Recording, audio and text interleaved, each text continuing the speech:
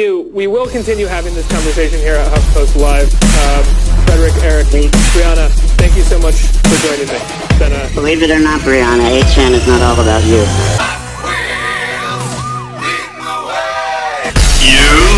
kind of unnecessary to